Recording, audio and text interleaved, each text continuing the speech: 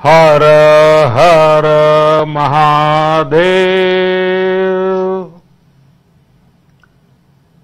काशी के सभी बहनों भाइयों को मेरा प्रणाम। आज काबुल में, गुरुद्वारों में हुए आतंकी हमले से मन काफ़ी दुखी है। मैं इस हमले में मारे गए सभी लोगों के परिवारों के प्रति संवेदना व्यक्त करता हूँ।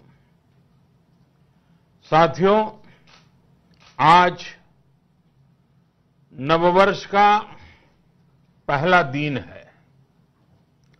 चैत्र नवरात्रि के पावन पर्व का पहला दिन है। आप सभी पूजा अर्चना में व्यस्त होंगे। इसके बीच आपने इस कार्यक्रम के लिए समय निकाला। मैं आपका बहुत बहुत आभारी हूँ। साथियों, आप जानते हैं, नवरात्रि के पहले दिन माँ शैलपुत्री की पूजा की जाती है। माँ शैलपुत्री स्नेह करुणा और ममता का स्वरूप है। उन्हें प्रकृति की देवी भी कहा जाता है। आज देश जिस संकट के दौर से गुजर रहा है, उसमें हम सभी को माँ शैल सुते के आशीर्वाद की बहुत आवश्यकता है। मेरी माँ शैलपुत्री से प्रार्थना है, कामना है, कोरोना महामारी के विरुद्ध जो युद्ध देश ने छेड़ा है, उसमें हिंदुस्तान को 130 करोड़ देशवासियों को विजय प्राप्त हो। काशी का सांसद होने के नाते मुझे ऐसे समय आपके बीच होना चाहिए था। लेकिन आप यहाँ दिल्ली में जो गतिविधियाँ हो रही हैं, उससे भी परिचित हैं। यहाँ की व्यस्तता के बावजूद मैं वाराणसी के बारे में निरंतर अपने साथियों से अपडेट ले रहा हूँ। साथियों याद कीजिए, महाभारत का युद्ध, महाभारत का युद्ध 18 दिन में जीता गया था। आज कोरोना के खिलाफ जो युद्ध पूरा देश लड़ रहा है, उसमें 21 दिन लगने वाले हैं। हमारा प्रयास है इसे 21 दिन में जीत लिया जाए। महाभारत के युद्ध के समय भगवान श्री कृष्ण महारथी थे, सारथी थे। आज 130 करोड़ महारथियों के बलबूते पर हमें कोरोना के खिलाफ इस लड़ाई को जीतना है। इसमें काशी वासियों की भी बहुत बड़ी भूमिका है। काशी के बारे में कहा गया है, मुक्ति जन्म मही जानी, ज्ञान खानी अधहानी कर, जहाँ बस शंभु भवानी, सो काशी से ही कसन। अर्थात, ये ज्ञान की खान है। पाप और संकट का नाश करने वाली है। संकट की इस घड़ी में काशी सबका मार्गदर्शन कर सकती है। सबके लिए उदाहरण प्रस्तुत कर सकती है। काशी का अनुभव, शाश्वत, सनातन, समयातीत है।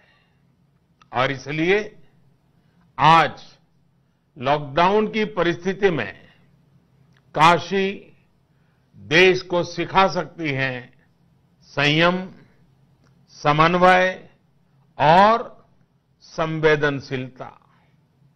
काशी देश को सिखा सकती है सहयोग, शांति, सहनशीलता। काशी देश को सिखा सकती है साधना, सेवा, समाधान। साथियों, काशी का तो अर्थ ही है शिव। शिव यानी कल्याण। शिव की नगरी में, महाकाल महादेव की नगरी में, संकट से जूझने का, सबको मार्ग दिखाने का सामर्थ्य नहीं होगा तो फिर किसमें होगा? साथियों, कोरोना वैश्विक महामारी को देखते हुए देश भर में व्यापक तैयारी की जा रही है।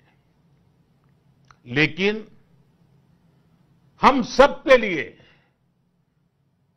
मेरे लिए भी और आपके लिए भी ये ध्यान रखना है कि सोशल डिस्टेंसिंग घरों में बंद रहना इस समय एकमात्र उपाय है, बेहतर उपाय है। मुझे एहसास है कि आप सभी के बहुत सारे प्रश्न होंगे, कुछ चिंताएँ भी होगी और मेरे लिए कुछ सुझाव भी होंगे। तो आइए हम अपने संवाद की शुरुआत करते हैं। आप अपना सवाल पूछेंगे मैं ज़रूर अपनी बात बताने का प्रयास करूँगा।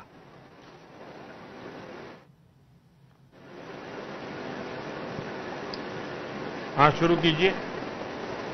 नमस्कार प्रधानमंत्री जी। नमस्कार।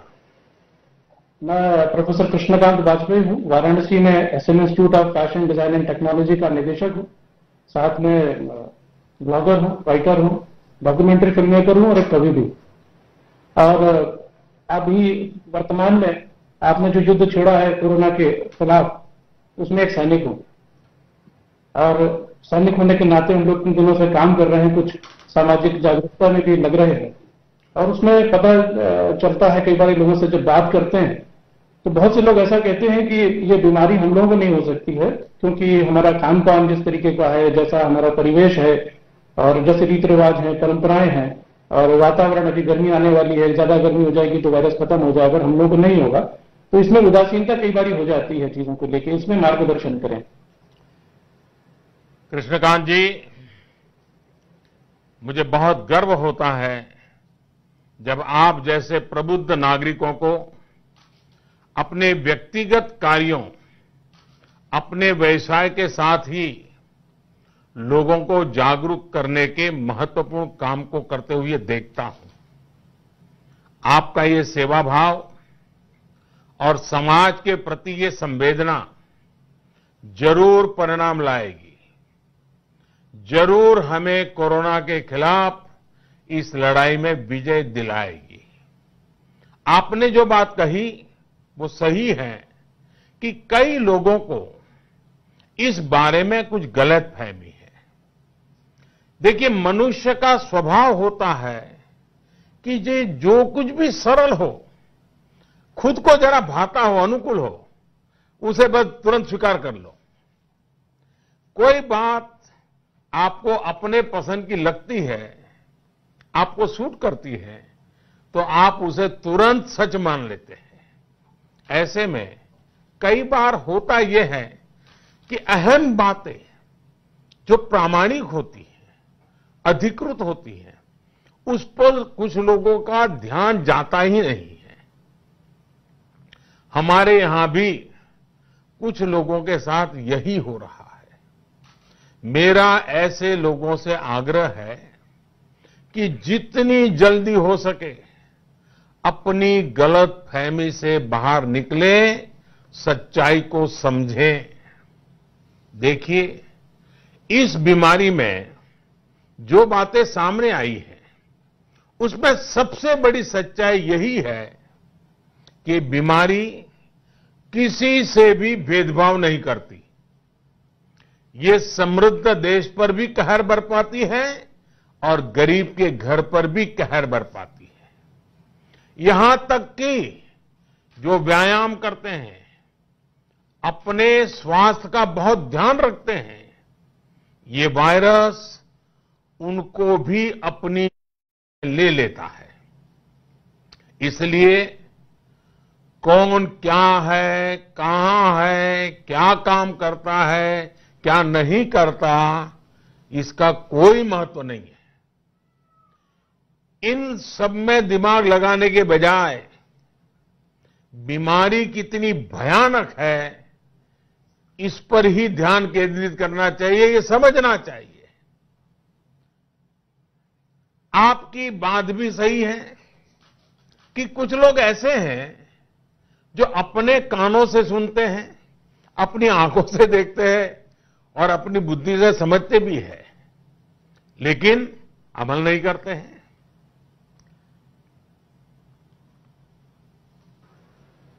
उनको कोई इन खतरों का पता ही नहीं होता है बेफिक्री होते हैं। क्या सावधानी बरतनी है? उन्हें यह भी पता नहीं। लेकिन वे उसल में उसे कभी अमल में लेना ही नहीं चाहते हैं। टीवी पर आपने कितनी बार देखा होगा, सिगरेट पीने से कैंसर होता है, गुटखा खाने से कैंसर होता है। कई बार ऐसा होता है कि लोग सिगरेट पीते पीते ही इस तरह के एडवर्टाइजमेंट देखते रहते हैं। लेकिन इसका उनके मन पर कोई प्रभाव ही नहीं पड़ता है। यही जो बात है, जो मैं कह रहा हूँ कि लोग कई बार जानते बुझते हुए भी सावधानी नहीं बरतते हैं। लेकिन हाँ, नागरिक के रूप में हमें अपने कर्तव्य करते रहना चाहिए। हमें सोशल डिस्टेंसिंग पर ध्यान देना चाहिए। हमें घर में रहना चाहिए और आपस में दूरी बनाए रखना चाहिए। कोरोना जैसी महामारी से दूर रहने का अभी यही एकमात्र उपाय है। अगर व्यक्ति संयम से रहे और निर्देशों का पालन करे तो वो उसके इस वायरस की चपेट में आने की संभावना कम हो जाती है। आप ये भी ध्यान रखिए कि कोरोना से संक्रमित, ये बहुत महत्वपूर्ण बात है। कोरोना से संक्रमित दुनिया में एक लाख से अधिक लोग ठीक भी हो चुके हैं और भारत में भी दर्जनों लोग कोरोना के सिकंजे से बाहर निकले हैं। कल तो एक खबर मैं देख रहा था कि इटली में 90 वर्ष में से भी ज़्यादा आयु की माताजी भी स्वस्थ हुई है। वैसे मैं आपको ये भी जानकारी देना चाहता हूँ कि कोरोना से जुड़ी सही और सटीक जानकारी के लिए सरकार ने व्हाट्सएप के साथ मिलकर एक हेल्प डेस्क भी बनाई है। अगर आपके पास व्हाट्सएप की सुविधा है तो मैं एक नंबर लिखवाता हूँ, लिख लीजिए। यह नंबर हर एक को काम आएगा। अगर आप व्हाट्सएप पर है तो इसका उपयोग कीजिए। नंबर मैं लिखवाता हूँ, nine zero one three one. फिर से बोल रहा हूँ, nine zero one three one five one five one five. Yes five one five one five पर आप व्हाट्सएप करके इस सेवा से जुड़ सकते हैं। अगर आप उस व्हाट्सएप पर नमस्ते लिखेंगे तो तुरंत आपको उचित जवाब आना शुरू हो जाएगा। तो आप ज़रूर, जो भी लोग मुझे सुन रहे हैं, हमारे काशी के भाई बहन और हिंदुस्तान के और लोग भी अगर सुनते हैं तो ज़रूर इस व्हाट्सएप पर आप नमस्ते लिखेंगे। अंग्रेज़ी में या हिंदी में तो आपको तुरंत वो आपको रिस्पॉन्ड करेंगे। आइए कृष्णकांत जी का मैं धन्यवाद करते हुए आगे चलता हूँ।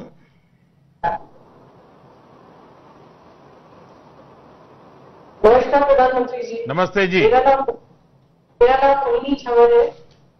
मैं एक सामाजिक कार्यकर्ता हूँ दिव्यांगों और महिलाओं के लिए काम करती हूँ। सर सोशल डिस्टेंसिंग का पालन तो सभी कर रहे हैं।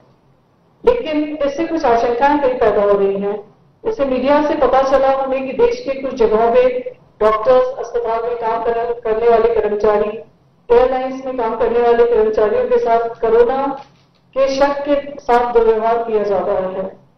ये सब बातें पता चलने पे बहुत पीड़ा का एहसास होता है और मन में बहुत ठेस पहुँचती है। बस ये जानना चाहती हूँ कि सरकार इसके लिए क्या कदम ठोस कदम उठा रही है।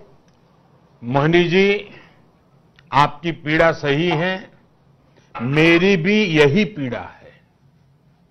कल मैंने नर्सिस के साथ, डॉक्टर्स के साथ, लैब टेक्नीशियंस के साथ इन विषयों पर विस्तार से बात की है। इस देश के सामान्य मानवी का मन, अगर हम आमतौर पर देखें, मैं एक सामान्य जीवन की बात करता हूँ तो सही समय पर सही काम करने और ज़रूरी कदम उठाने में हमारे देश के लोग बहुत विश्वास रखते हैं। आपने देखा होगा कि 22 मार्च को किस तरह पूरे देश ने जनता कर्फ्यू में बढ़ चढ़ करके अपनी भागीदारी निभाई और दुनिया को अचंबित कर दिया है। और फिर शाम के ठीक पाँच बजे पाँच मिनट के लिए कैसे देश भर के लोग अभिवादन के लिए सामने आए। साथ ही अलग अलग जगहों से एक साथ, एक मन होकर कोरोना के खिलाफ हमारी जो नर्सिस लड़ रही हैं, डॉक्टर लड़ रहे हैं, लैब टेक्नीशियन लड़ रहे हैं, पैरामेडिकल स्टाफ लड़ रहे हैं, उन सबके प्रति धन्यवाद का एक अभूतपूर्व दृश्य प्रस्तुत किया। यह पूरे देश ने किया है। यह सम्मान का एक प्रकट रूप था।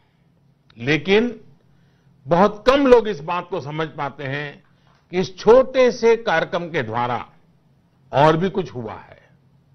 इसके अंतर्निहित एक अप्रगट बात भी थी।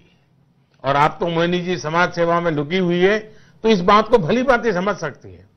समाज के मन में इन सबके लिए आदर सम्मान का भाव होता ही है।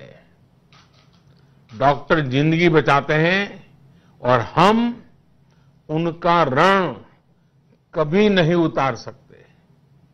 जिन लोगों ने वुहान में रेस्क्यू ऑपरेशन किया, मैंने उनको पत्र लिखा था। मेरे लिए वो पल बहुत भावुक था। वो सिर्फ़ लिखने के लिए लिखा गया पत्र नहीं था। अभी इटली से लोगों को लाने वाले एयर इंडिया के क्रू जिनमें सभी महिलाएँ थी, मैंने उनकी तस्वीर को भी सोशल मीडिया पर साझा किया था। शायद आप लोगों ने देखा भी हो।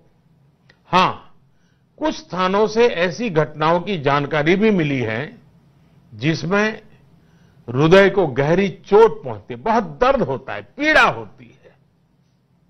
मेरी सभी नागरिकों से अपील है कि अगर ऐसी कोई गतिविधि कहीं दिखाई दे रही है, इस सेवा में रत, इस महामारी से हम लोगों को बचाने के लिए जो काम में लगे हैं, डॉक्टर हैं, नर्स हैं, मेडिकल के लोग हैं, सफ़ाई के लोग हैं, अगर उनके साथ बुरा बर्ताव होता है तो आप भी अगर वहाँ उस इलाके के लोगों को जानते हैं, उनको चेतावनी दीजिए। उनको समझाइए, ये गलत कर रहे हैं। ऐसा नहीं कर सकते हैं। और जो भी सेवा कर रहे हैं, उनकी हमने मदद करनी चाहिए। और बताना चाहिए कि ऐसा नहीं होना चाहिए। और मैं आपको बता दूँ, जब मुझे कल सब डॉक्टरों से बात कर रहा था, मुझे पता चला, घटनाएँ भले छुटपुट कहीं कहीं होगी, लेकिन मेरे लिए गंभीर है। और इसलिए मैंने तत्काल गृह विभाग को राज्यों के सभी डीजीपी को सख्ती से काम करने के लिए कहा है कि ऐसे कोई भी व्यक्ति डॉक्टरों के साथ, नर्सों के साथ, सेवा करने वालों के साथ अगर इस प्रकार का कुछ भी करेंगे तो उनको बहुत महँगा पड़ेगा और सरकार सख्त कदम उठाएगी। संकट की इस घड़ी में मैं देशवासियों से ध्यान तोड़ना चाहूँ, क्या आकर्षित करना चाहूँगा संकट की इस घड़ी में अस्पतालों में इस समय सफ़ेद कपड़ों में दिख रहे डॉक्टर नर्स ईश्वर का ही रूप है। आज यही हमें मृत्यु से बचा रहे हैं।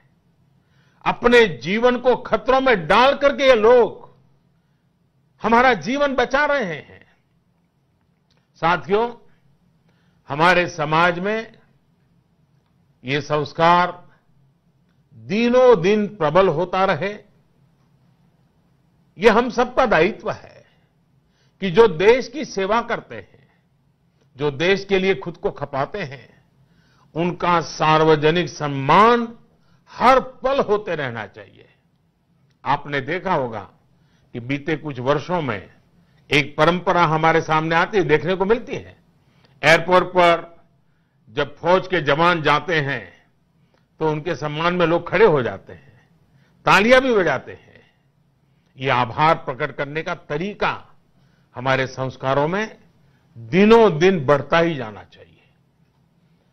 मोहिनी जी, आप तो बहुत सेवा के कार्य में लगी हुई हैं। इन दिनों ज़रूर कुछ न कुछ आप भी करती होगी। मैं फिर एक बार आपका आभार व्यक्त करता हूँ। आइए, काशी के कोई और महानुभाव से भी मौका मिलेगा मुझे बात करने का।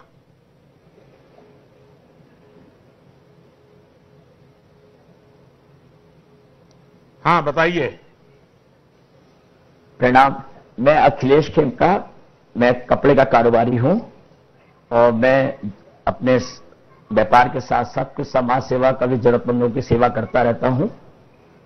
मेरा ये मन में क्वेश्चन था कि आज के दिन जो लॉकडाउन हो गया है, इस वजह से बहुत से हमारे साथी लोग अपनी जगह पे अटक गए हैं। तथा जो हमारे गरीब वर्ग के लोग हैं, जो प्रतिदिन मेहनत करके कमाते हैं, मजदूर, डेली बेसिस के स्टाफ। ये लोग के सामने एक मुश्किल आई हुई है। और अगर हमारे बनारस सहित हमारे वाराणसी सहित पूरे देश के जो इस गरीब वर्ग के लोग हैं, इन लोग पर विशेष ध्यान देने की ज़रूरत है। तो मैं आपसे एक ही निवेदन करता हूँ कि हम लोग को मार्गदर्शन दें। हम लोग राष्ट्र के युवा और हम लोग जो समाज के लोग हैं, किस रूप में हम इन लोगों की मदद कर सकते हैं? काशी में बात होती हो और कपड़े वाले से बात न हो तो बात अधूरी रह जाती है। और अखिलेश जी मुझे खुशी है कि आप व्यापारी हैं, लेकिन आपने सवाल गरीबों का पूछा। मैं बहुत आभारी हूँ आपका। कोरोना को पराजित करने के लिए एक रणनीति के तहत एक्सपर्ट से मिले दिशा निर्देशों के मुताबिक ही ये कहा जा रहा है कि हर व्यक्ति दूसरे से कम से कम एक डेढ़ मीटर की दूरी पर रहे। ये कोरोना के खिलाफ इस बड़ी लड़ाई की सैन्य नीति है। मैं इसको सैन्य नीति कहता हूँ। साथियों, हम इस बात पर विश्वास करने वाले लोग हैं जो मानते हैं कि मनुष्य ईश्वर का ही अंश है। व्यक्ति मात्र में ईश्वर का वास है। यही हमारे संस्कार हैं। यही हमारी संस्कृति है। कोरोना वायरस न हमारी संस्कृति को मिटा सकता है और न ही हमारे संस्कार मिटा सकता है। और इसलिए संकट के समय हमारी संवेदनाएँ और जागृत हो जाती है। कोरोना के जवाब देने का दूसरा एक ताकतवर तरीका है, और वो तरीका है करुणा। कोरोना का जवाब करुणा से। हम गरीबों के प्रति, जरूरतमंदों के प्रति करुणा दिखाकर भी कोरोना को पराजित करने का एक कदम ये भी कर ले सकते हैं। हमारे समाज में, हमारी परंपरा में दूसरों की मदद के एक समृद्ध परिपाटी रही है। हमारे यहाँ तो कहा जाता है, साई इतना दीजिए, जामे कुटुंब समाए मैं भी भूखा ना रहूँ साधु न भूखा जाए। अभी नवरात्र शुरू हुआ है। अगर हम अगले 21 दिन तक, और मैं मेरे सभी मेरे काशी के भाइयों बहनों को कहना चाहूँगा कि जिनके पास ये करने की शक्ति है, देश में भी जिसके पास ये शक्ति है, मैं उनको यही कहूँगा, ये नवरात्रि का जब प्रारंभ हुआ है तब अगले 21 दिन तक प्रतिदिन प्रतिदिन नौ गरीब परिवारों की मदद करने का प्रण लें। 21 दिन तक नौ परिवारों को आप संभालें। मैं मानता हूँ, अगर इतना भी हम कर लें तो माँ की इससे बड़ी आराधना क्या हो सकती है? ये ये सच्चा और पक्का नवरात्र हो जाएगा। इसके अलावा आपके आसपास जो पशु है उनकी भी चिंता करनी है। लॉकडाउन की वजह से अनेक पशुओं के सामने, जानवरों के सामने भी भोजन का संकट आ गया है। मेरी लोगों से प्रार्थना है कि अपने आसपास के पशुओं का भी ध्यान रखें। अखिलेश जी, अगर मैं कहूँ कि सब कुछ ठीक है, सब कुछ सही है तो मैं मानता हूँ कि मैं खुद को भी धोखा देने वाली बात कर रहा हूँ। इस समय केंद्र सरकार हो या राज्य सरकारें जितना ज़्यादा हो सके, जितना अच्छा हो सके, इसके लिए भरसक प्रयास कर रही है। मुझे राज्य सरकारों पर पूरा भरोसा है कि वो अपने राज्य के प्रत्येक नागरिक की चिंताओं को समझते हुए पूरी संवेदनशीलता के साथ उनकी देखभाल करेगी। लेकिन साथियों, हम ये भी जानते हैं कि सामान्य परिस्थिति में, यानी कोई तकलीफ़ नहीं है, कोई आपत्ता नहीं है, मुसीबत नहीं है, सामान्य परिस्थिति में भी कभी बिजली चली जाती है, कभी पानी आना बंद हो जाता है, कभी भी उनमें मदद के लिए आने वाले हमारे जो कर्मचारी है, वो अचानक लंबी छुट्टी ले लेते हैं। तमाम तरह की दिक्कतें, बिना बताए, बिना किसी पूर्व सूचना के हमारे जीवन में आती रहती हैं। ये हम सब हिंदुस्तानियों का अनुभव है। ऐसे में, और वो तो मैं संकट के समय नहीं कहता हूँ, सामान्य स्थिति में भी आती है। ऐसे में, जब देश के सामने इतना बड़ा संकट हो, पूरे विश्व के सामने इतनी बड़ी चुनौती हो तब मुश्किलें नहीं आएगी। सब कुछ अच्छे से होगा। ये कहना अपने साथ धोखा करने जैसा होगा। मैं मानता हूँ कि ये सवाल बहुत महत्वपूर्ण है कि व्यवस्था ठीक है या नहीं। सब कुछ सही से हो रहा है या नहीं हो रहा। लेकिन जरा पल भर सोचिए। इससे भी ज़्यादा महत्वपूर्ण सवाल ये है कि कोरोना जैसे संकट में हमें तकलीफें सहकर भी विजयी होना है या नहीं होना है? जो तकलीफें आज हम उठा रहे हैं, जो मुश्किल आज हो रही है, उसकी उम्र फ़िलहाल 21 दिन ही है। लेकिन अगर कोरोना का संकट समाप्त नहीं हुआ, इसका फैलना नहीं रुका तो फिर ये संकट, ये तकलीफें कितना ज़्यादा नुकसान हो सकता है, इसका अंदाज़ा भी नहीं लगाया जा सकता। ऐसे कठिन समय में प्रशासन के द्वारा, नागरिकों के द्वारा, सिविल सोसाइटी के द्वारा सामाजिक संगठन, सांस्कृतिक संगठन, धार्मिक संगठन, राजनीतिक संगठन, सब कोई जो भी कार्य कर रहे हैं, सराहनीय कार्य करिए जा रहे हैं, उसे ज़्यादा से ज़्यादा प्रोत्साहित किए जाने की आवश्यकता है। आप सोचिए, अस्पतालों में लोग 18-18 घंटे काम कर रहे हैं।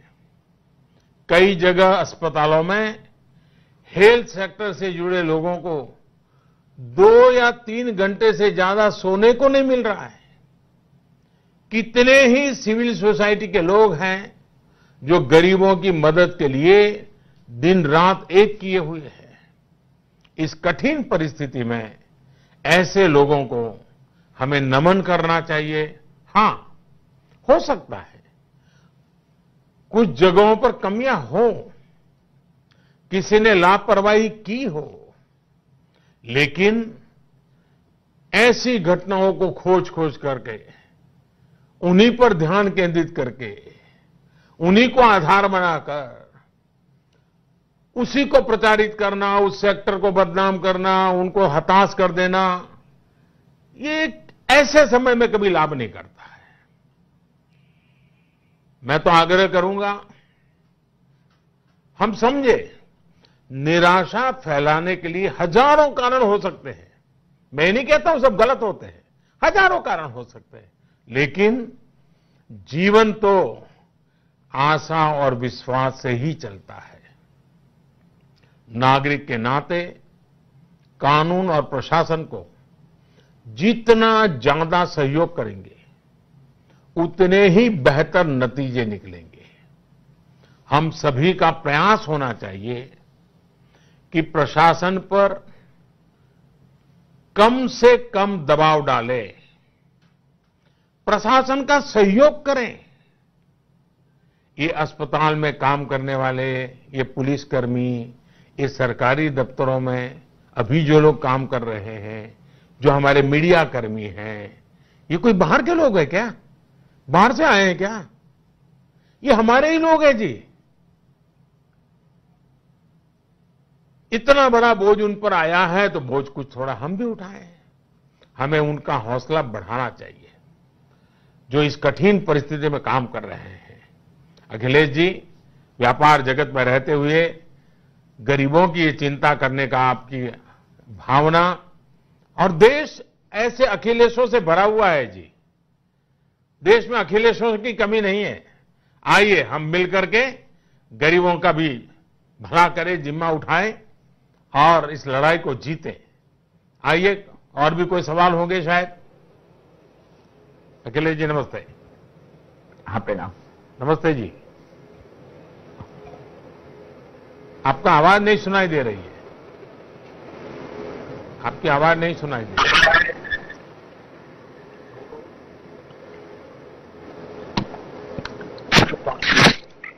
नमस्कार प्रधानमंत्री जी। हाँ नमस्ते नमस्ते। मैं doctor Gopal Nath, professor department of microbiology, चिकित्सा विज्ञान संस्थान, बनारस हिंदू यूनिवर्सिटी से हूँ। मैं कोरोना के डायग्नोसिस के लैब का इंचार्ज भी हूँ, जो 16 जिलों का की ज़िम्मेदारी संभाल रहा हूँ। और साथ में ही माँ गंगा के जल से बैक्टीरियोफेजेस निकाल के जो जिस प्रॉब्लम पे मैं सवाल पूछने जा रहा हूँ, उसका वैकल्पिक व्यवस्था पे रिसर्च कर रहा हूँ।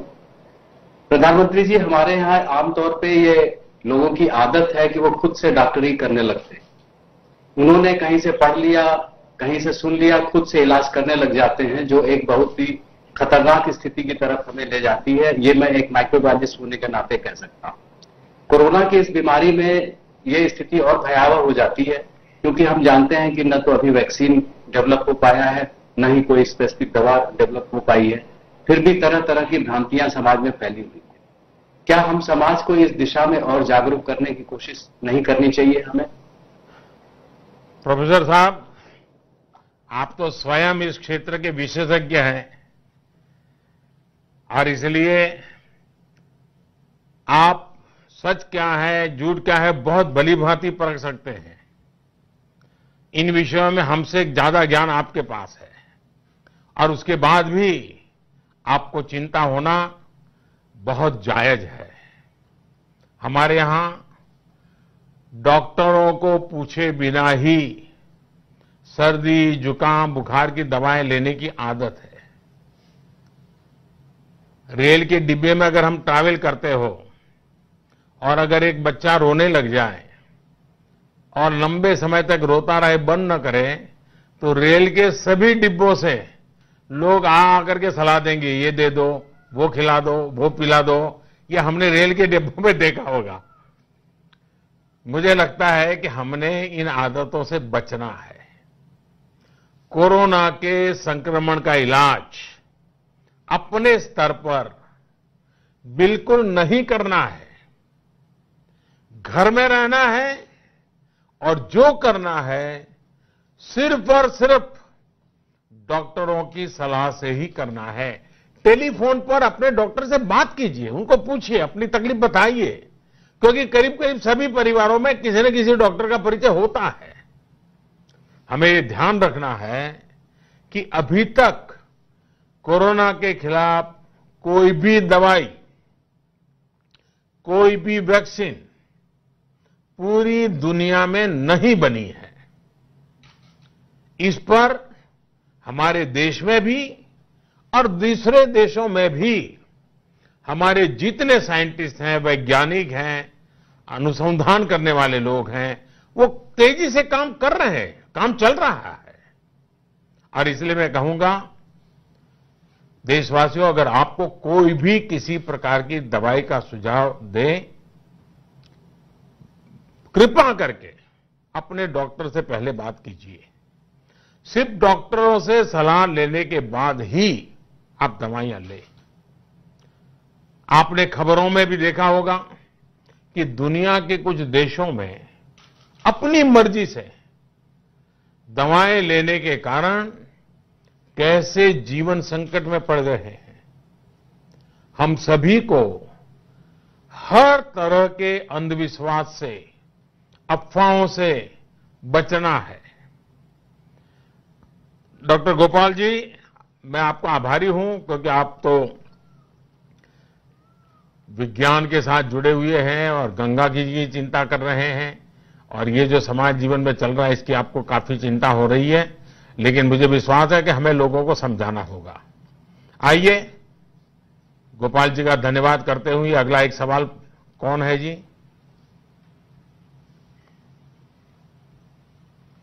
नमस्कार नमस्ते जी। जी। मेरा नाम अंकिता खत्री है और मैं एक गृहिणी होने के साथ साथ विभिन्न रचनात्मक कार्यों में भी सक्रिय हूँ। इस समय आपकी प्रेरणा से सोशल मीडिया पर कुछ क्रिएटिव करो ना के हैशटैग के साथ एक अभियान का आरंभ किया है मैंने जिसमें काशी के विभिन्न रचनाकारों कलाकारों को आह्वान कर रही हूँ। अच्छा आपने भी मेरी तरह पोस्टर दिखा दिया। सब आपकी प्रेरणा से। माननीय प्रधानमंत्री जी और आपकी ही प्रेरणा से इस अभियान का आरंभ किया है। और इसमें काशी चूँकि हमेशा से रचनात्मकता आप स्वयं इतने रचनात्मक है सकारात्मक है ऐसी नकारात्मक परिस्थिति में भी मैंने कहीं सुना था कि जो रचता है वो ही बचता है। तो काशी के समस्त रचनाकारों को क्या क्या क्या बड़ा अच्छा कि वाक्य बोली आप। क्या बोला आपने?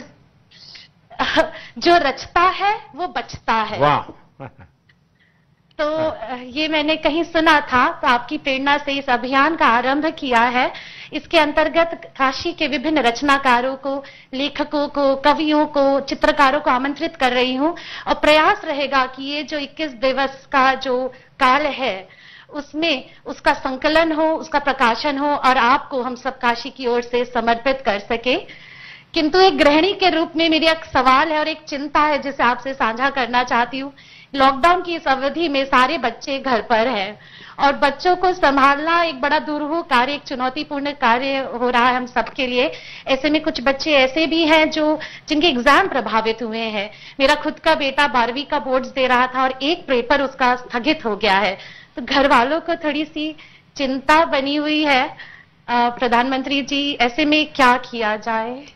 अंकिता जी, पहली बात तो आप रचनात्मक काम क्रिएटिव एक्टिविटी इसको बल दे रही हैं और इसका जीवन में एक अलग ऊर्जा उसके कारण रहती है। लेकिन आपने कहा कि सब रचनाकारों का आप इकट्ठी कर रही है। मेरी विनती है, किसी को इकट्ठा मत करो। सोशल डिस्टेंसिंग सोशल डिस्टेंसिंग ये सबसे पहली बात है। हाँ आप ऑनलाइन सबसे अपनी कला, उसका मांगिए, आप संकलन कीजिए। और कल्पना अच्छी है, जो इस भाव के लोग हैं, उनकी रचनाएँ, उनकी चीज़ें ज़रूर देश को काम आएगी। और ये सही है कि आपदा बहुत बड़ी है, लेकिन आपदा को अवसर में बदलना ही मानव जीवन की विशेषता है। इन दिनों सोशल मीडिया में आप लॉकडाउन का एक और प्रभाव देखने को मिल रहा है। बहुत से लोग ट्विटर पर फेसबुक पर इंस्टाग्राम पर विस्तार से बता रहे हैं कि कैसे वो अपने बच्चों के साथ ज़्यादा समय बिता रहे हैं। ये सही है कि पहले संयुक्त परिवार होता था तो बच्चों को संभालने का काम दादा दादी कर लेते थे। आज जरा छोटे परिवार हो गए तो मुश्किल स्वाभाविक है। लेकिन आपने देखा होगा, टीवी में, इलेक्ट्रॉनिक मीडिया में, रेडियो पर, इसे लेकर कई नए नए शो बन रहे हैं। हमारे देश के मीडिया में भी क्रिएटिविटी है। उन्होंने लोगों को एंगेज रखने के लिए, लोगों को घरों में है तो क्या करना चाहिए? बड़ा अच्छे ढंग से इतने कम समय में उन्होंने किया है। और एक लॉकडाउन में नई नई बातें वो दिखा रहे हैं, सिखा रहे हैं। इस सब के बीच मेरे मन को कुछ और बातों ने भी बहुत प्रभावित किया है।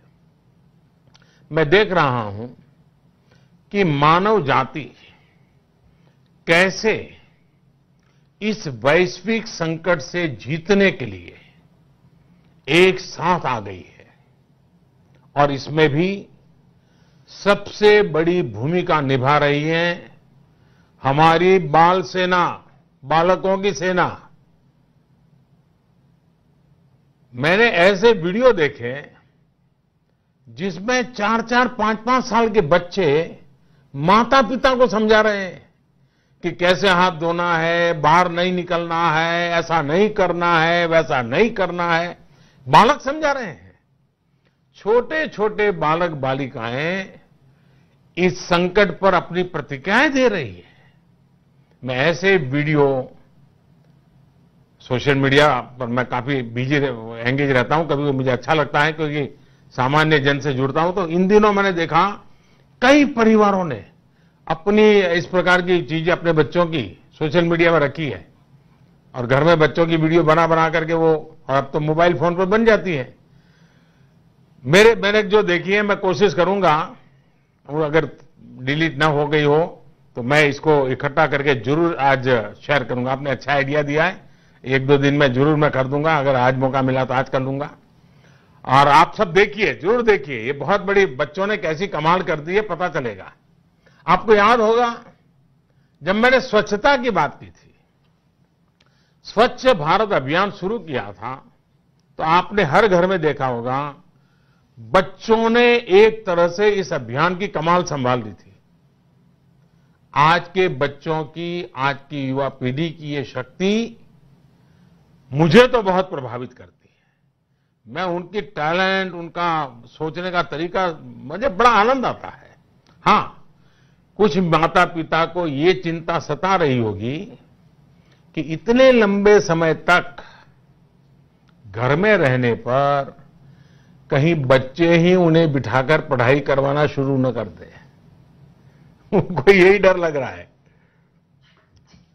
वैसे और मुझे पक्का विश्वास है, ये बच्चे अपने माँ बाप को कुछ कुछ पढ़ा के रहेंगे। इक्कीस दिन में बहुत कुछ सिखा देंगे। वैसे साथियों, मैं नमो ऐप पर आप सबके सुझाव और फीडबैक भी निरंतर पढ़ रहा हूँ। श्री ओम प्रकाश ठाकुर जी, मुकेश दास जी, प्रभांशु जी, अमित पांडे जी, कविता जी, देश के अलग अलग हिस्सों में अलग अलग लोगों ने अपने अपने तरीके से ये सुझाव दिए हैं कि लॉकडाउन को सख्ती के साथ और लंबे समय के लिए लागू किया जाए। केवल आप ही नहीं, पूरे देश से आप ही की तरह हज़ारों प्रबुद्ध नागरिकों ने भी फेसबुक ट्विटर इंस्टाग्राम और यूट्यूब पर इस महामारी से निपटने के लिए यही सलाह दी है, अपील की है। जब हमारे देशवासियों में खुद से ही ये संकल्प, ये समझदारी हो, इस चुनौती से जूझने की ये दृढ़ इच्छा शक्ति हो तो मुझे भरोसा पूरा भरोसा है कि देश इस महामारी को ज़रूर ज़रूर हराएगा। अंत में फिर आपसे कहूँगा कि आप सब मेरे काशीवासी मैं थोड़ा नहीं आ पाया हूँ, आपके बीच में मुझे क्षमा करें, लेकिन आप खुद को सुरक्षित रखें, देश को भी सुरक्षित रखें। एक बड़ी लड़ाई है, जिसमें बनारस के लोगों को भी अपना पूरा योगदान देना है, पूरे देश को मार्ग दिखाना है। सभी काशीवासियों को आज फिर एक बार दिल्ली से मैं प्रणाम करता हूँ और मुझे विश्वास है कि आपने हमेशा काशी को संभाला है, आगे भी आप काशी को संभालेंगे। ये मुझे पूरा विश्वास है। आप सबका बहुत बहुत धन्यवाद।